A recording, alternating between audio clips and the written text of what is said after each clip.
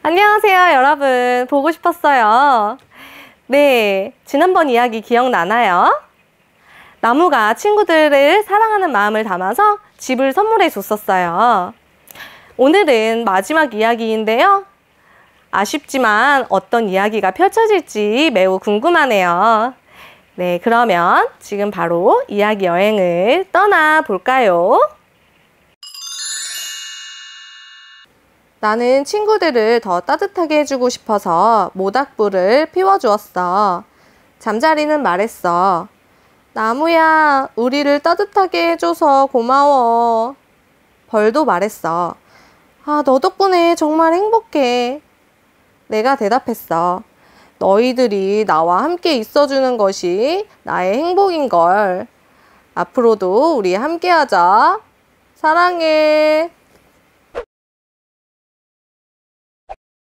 네, 이번엔 모닥불을 표현해 볼게요. 먼저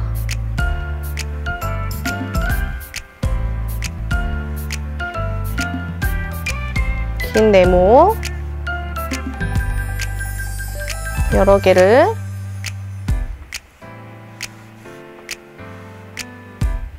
이렇게 옆으로 그려요. 다음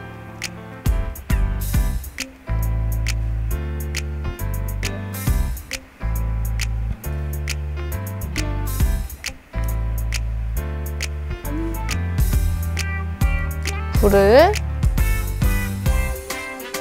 이렇게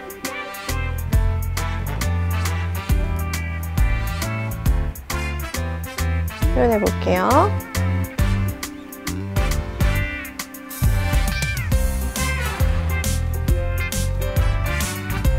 마치 꽃잎 같기도 하네요.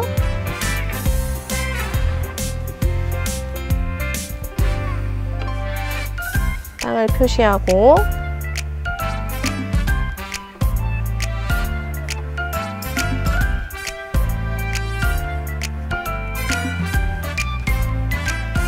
땅에 무늬를 그려요.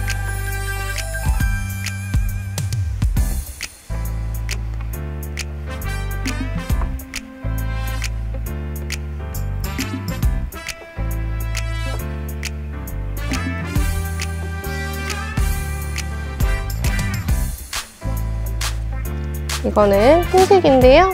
지금은 잘 안 보이지만 이따가 예쁘게 보일 거예요.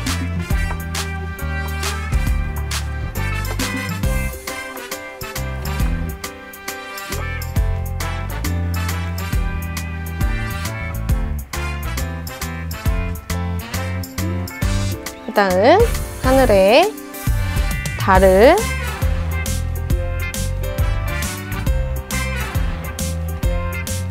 그리고 별도 그려볼게요.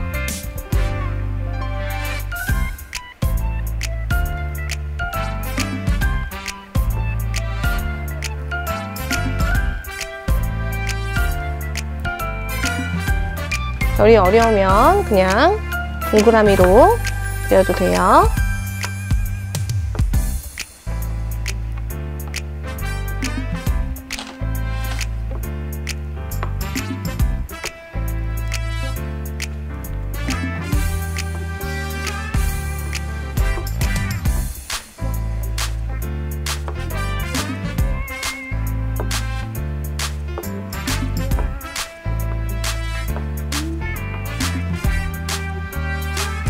그러면 달을 먼저 칠해 보도록 할게요.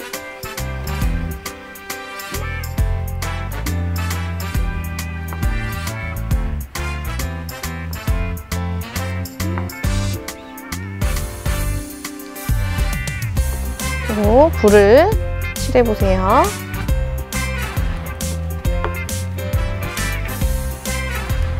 여기는 노란색으로 칠할게요.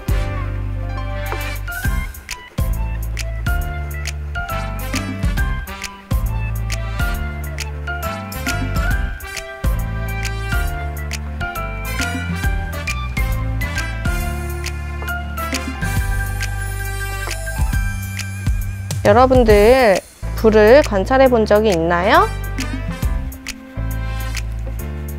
여러분들이 보았던 불을 떠올리면서 한번 칠해보세요.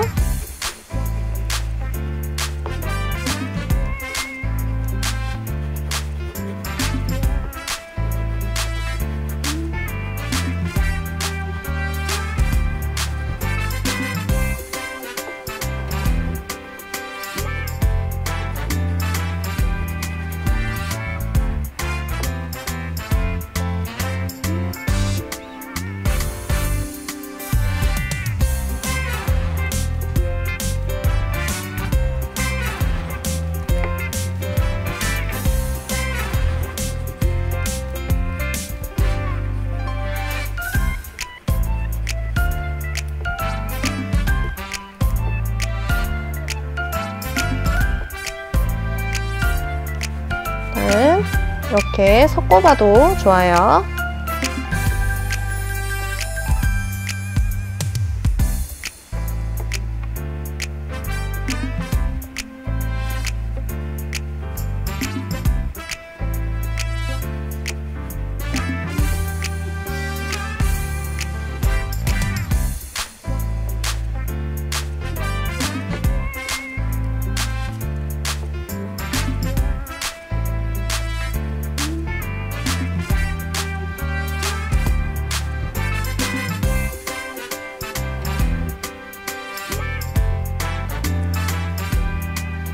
일단 나무를 칠해볼게요.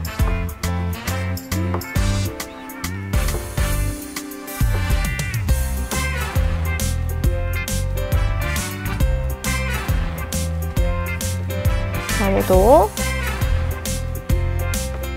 두 가지 색으로 섞어볼게요.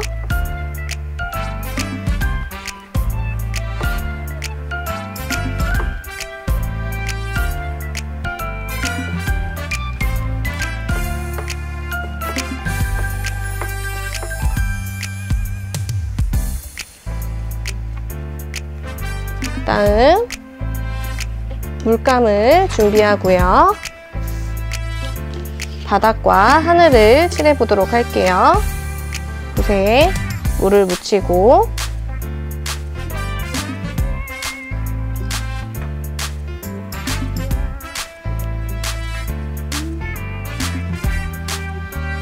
바닥을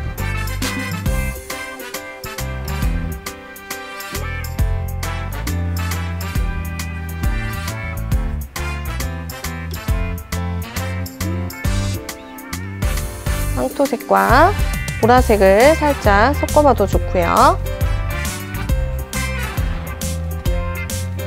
여러분들이 좋아하는 색으로 칠해보세요.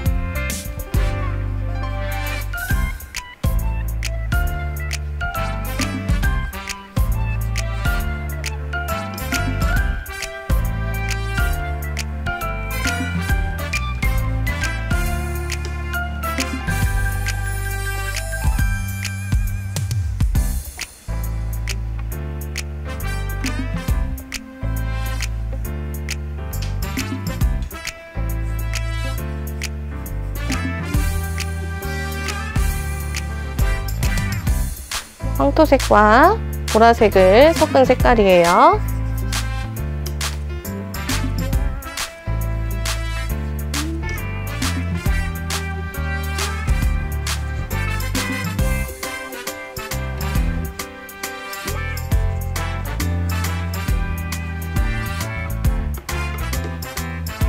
다음 하늘을 칠해 보도록 할게요.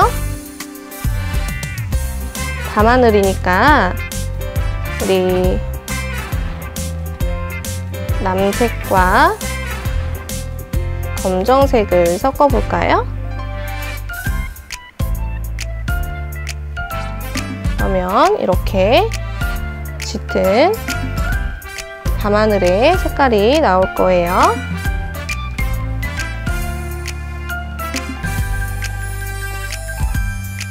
아까 흰색으로 그렸던 별들이 잘 나타나고 있죠?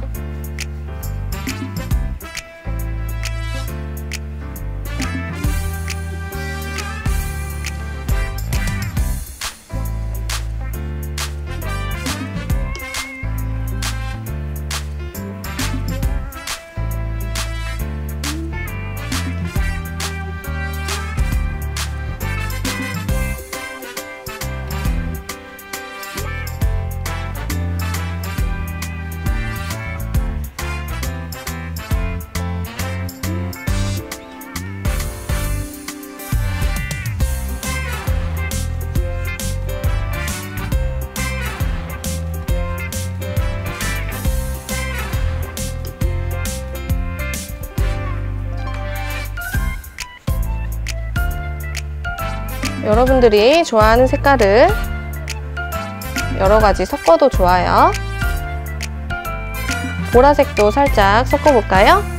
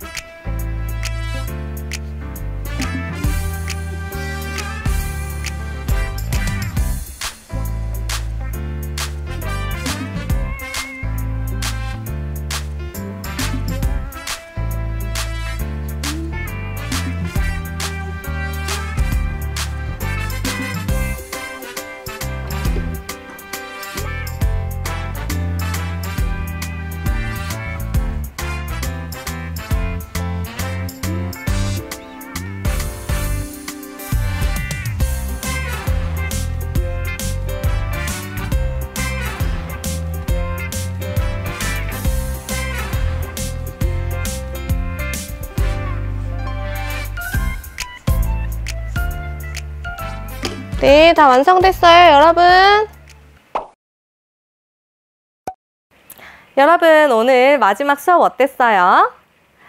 와, 나무가 집도 선물해주고 모닥불까지 따뜻하게 피워줬어요. 나무가 이렇게 친구들을 사랑하는 마음처럼 선생님도 여러분을 아주 많이 사랑한답니다. 다음번에는 더 좋은 이야기를 들려주러 올게요. 아쉽지만 우리 다음번에 또 만나요, 여러분. 안녕!